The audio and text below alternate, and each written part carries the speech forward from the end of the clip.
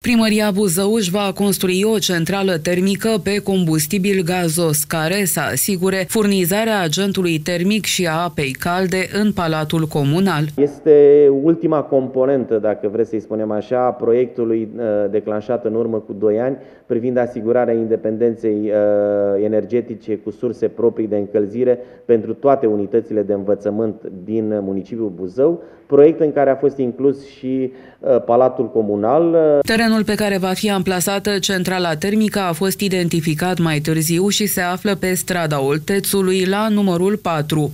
Iată că între timp am declanșat un plan urbanistic de detaliu pentru amplasarea acesteia pe strada Oltețului. Am identificat o suprafață mică de teren ce se pretează pentru amplasarea acestei centrale și probabil în această iarnă ea va fi amplasată. Bineînțeles că rămânem în continuare branșați la sistemul uh, centralizat de termoficare, iar în momentul în care va fi finalizată uh, noua centrală, se va produce această decuplare, să-i spunem.